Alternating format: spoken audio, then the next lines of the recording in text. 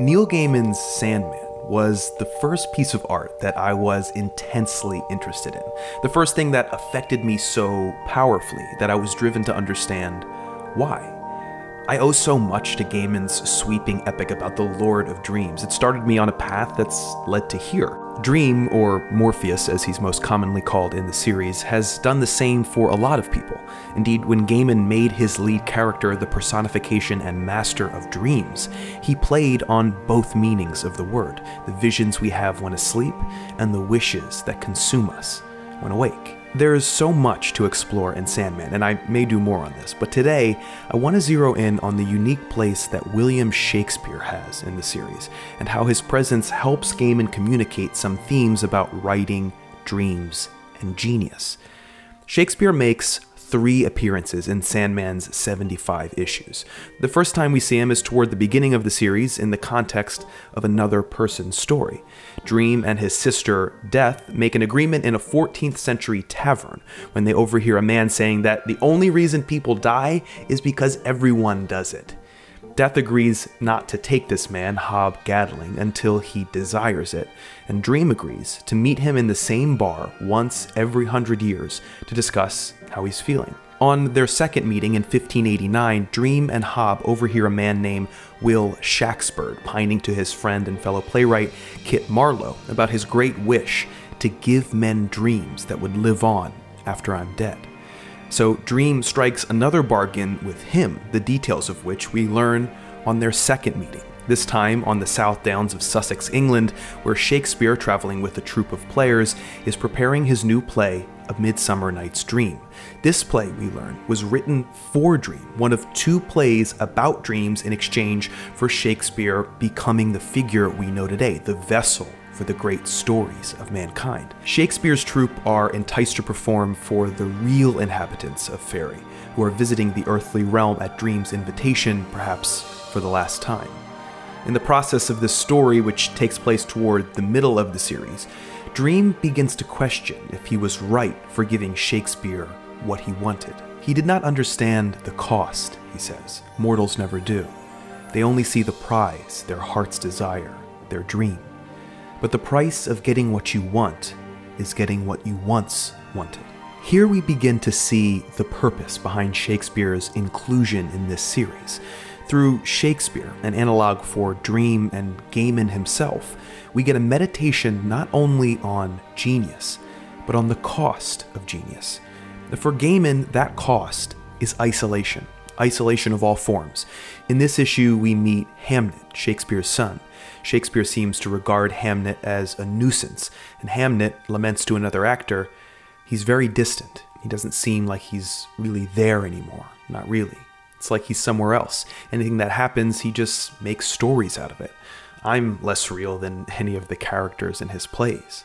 In his eagerness to write great stories, Shakespeare becomes isolated from his family and his life, such as the cost of extreme focus.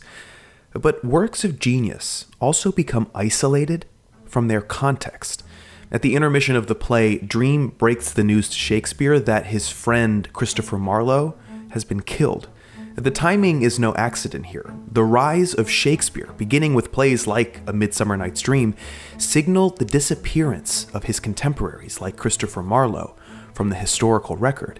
In modern cultural memory, barring academia, their presence has been overshadowed by isolated genius. The Gaiman picks up this theme again in the final appearance of Shakespeare in Sandman, which is also, not accidentally, the final issue of the series. Here, Shakespeare is writing his final play, The Tempest, the second play at the end of his career that fulfills his bargain with Dream. His friend and sometimes critic Ben Jonson comes to visit him and asks about the new play. Have you been raiding poor Holinshed again, or does Plutarch bear the brunt of your depredations? This, of course, references the fact that Shakespeare famously took many of his plots from prior sources and histories like those of Raphael Holinshed and Plutarch. Yet, these sources, like small planets like Christopher Marlowe and Ben Jonson, do not register against the massive star that is Shakespeare. An example back in the first issue in 1789 at their fourth meeting, Hob Gadling tells Dream he has seen a production of King Lear mentioning The idiots have given it a happy ending. That will not last, Dream says. The great stories will always return to their original forms. Here, Gaiman is playing with us. He knows what the average man, epitomized by Hob Gadling, does not that it was Shakespeare who changed the ending. The original versions on which Lear was based did have a happy ending, but those versions are forgot. And yet, by having Dream say, the great stories will always return to their original forms, Gaiman indicates perhaps the key theme of the whole series the power of dreams to supplant reality. In the second issue, Oberon, King of Faerie, watches Shakespeare's play about himself and says to Dream, But things never happened thus. Dream responds apropos of this theme Things need not have happened to be true. Tales and dreams are the shadow truths that will endure when mere facts are dust and ashes and forgot. The very next panel features the line from A Midsummer Night's Dream that criticizes the power of stories. The best in this kind are but shadows. Well, Gaiman, like Shakespeare, disagrees. These shadows, these illusions of reality, incomplete as they are, may come in time to replace the real thing. Indeed, Shakespeare was the vessel for extremely powerful stories. His treatments of culture, of love and madness, in many ways created the age we still live in. We are all, in a very real sense, living in the dreams of Shakespeare. Sandman is a singular work of art coming and propelling comics into a higher literary appreciation, and pulling, like Shakespeare's work, on a vast catalog of mythological, religious, and literary references. It's fitting that Gaiman is more interested in Shakespeare the man than his work. Shakespeare, Dream, and Gaiman, like I said, are all analogs for one another, and each in their turn have to examine the costs of telling great stories. The largest part of that cost, it seems, is isolation. I watched my life as if it were happening to someone else, Shakespeare tells Dream. My son died and I was hurt, but I watched my hurt and even relished it a little. For now I could write a real death, a true loss. In three issues that span the series, Neil Gaiman treats these themes of genius and isolation within a larger framework of a story that is essentially about stories. The inclusion of Shakespeare highlights the uneasy relationship between stories, collective dreams, and those who create them. History and imagination amend Shakespeare to fit their purposes, just as Gaiman does by bringing him to life in the pages of Sandman.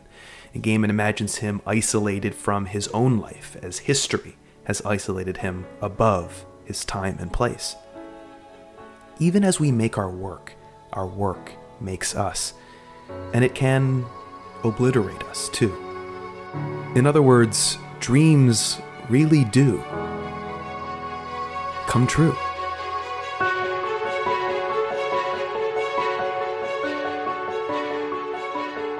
Hey everybody, thanks for watching and welcome to everybody who is new to the Nerdwriter.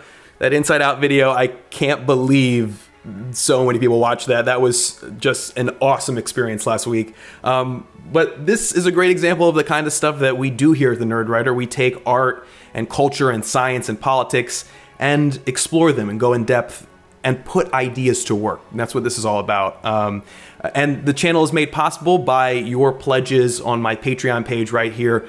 Um, as little as a dollar per video. You know, the money that you guys give me goes directly into these videos. Um, and to toward improving the channel. And that, that is really what I want to do is push this medium farther, you know, create new styles, new ways of exploring and explaining ideas. Um, and there's a lot more that I want to do. This was awesome. I've been thinking about how to analyze comics for a long time. Hope you enjoyed it. And anyway, thank you again and welcome to the Nerdwriter. We have a lot of fun here. Um, I will see you guys next Wednesday.